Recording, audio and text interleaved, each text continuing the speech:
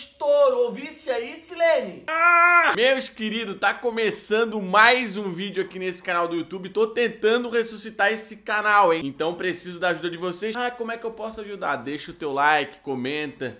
O que foi? Quer aparecer? Olha se isso aqui não merece o like.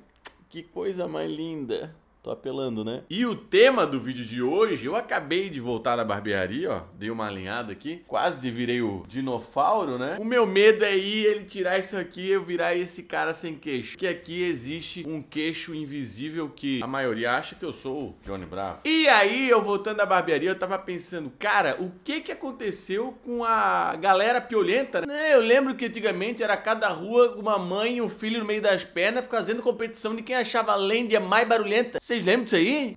Oh, que estouro! Ouvisse aí, Silene? Meu Deus, olha que baita, que cavalo! Hoje em dia eu não vejo mais disso. E quando tinha esse piolento, qual que era o tratamento? Encharcava o pano de louça no vinagre, amarrava na cabeça da criança, sufocava os piolhos. Não matava, mas ficava temperadinho que, ó... Se tacasse limão e cebola, virava churrasco de igreja. Copa 2002, que o Ronaldo fez aquele penteado aqui do cascão, que era só na frente. Minha mãe aproveitou que eu tava com piolho e cortou meu cabelo daquele jeito. Piolho conversando na minha cabeça. Ô, querido, quando eu cheguei aqui, isso aqui tudo era mato. Agora estão desmatando aí, acho que vão lotear. Que? Tô dizendo pra ti? Agora me diz uma coisa, me diz. Tua cabeça já coçou só de assistir esse vídeo até aqui? Então deixa o like, a minha não para de coçar. E quando a mãe da gente pedia pra gente parar de andar com tal pessoa porque ela era piolenta? Para de andar com a filha da Marlene que ela é piolenta, já te falei. E eu era apaixonado pela Amanda piolenta. Não, lembra quando alguém aparecia com um tênis diferente, uma roupa da moda, e na outra semana todo mundo tinha um igual? A única vez que eu consegui fazer isso foi quando eu peguei piolho. Sempre falar, não, tu é tão feio que não pega nem piolho. Tão ridículo que nem um piolho tu pega. Mentira, tá? Eu vivia cheio de piolho. Deus, que coceira! Mas eu lembro que eu só peguei piolho quando eu era criança. Depois de adulto, nunca mais, cara. Por que será que adulto não tem piolho? Será que eles têm medo que a gente dá um boleto pra eles pagar? Deixa aqui nos comentários a tua teoria sobre isso. Por que que adulto não tem piolho? Quantas vezes tu pegou piolho na vida? Se tu tem alguma história engraçada, também deixa o teu comentário que eu vou estar tá lendo aqui todas essas histórias de vocês. Não esquece de deixar o teu like, se inscrever no canal, que senão tu vai pegar piolho. Depois, de...